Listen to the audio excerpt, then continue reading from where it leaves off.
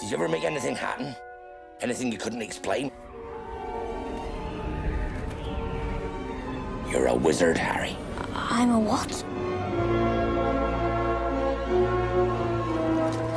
Dear Mr. Potter, we are pleased to inform you that you have been accepted at Hogwarts School of Witchcraft and Wizardry. In a few moments, you will pass through these doors and join your classmates. Keep an eye on the staircases. They like to change.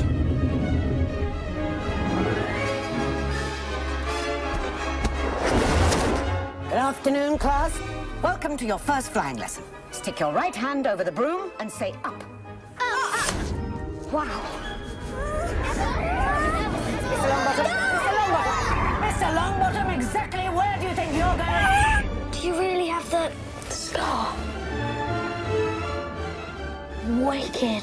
Mr. Potter, our new celebrity.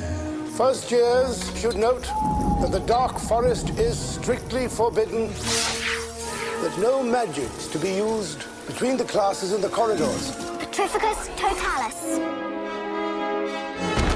The third floor corridor is out of bounds to everyone who does not wish to suffer a most painful death.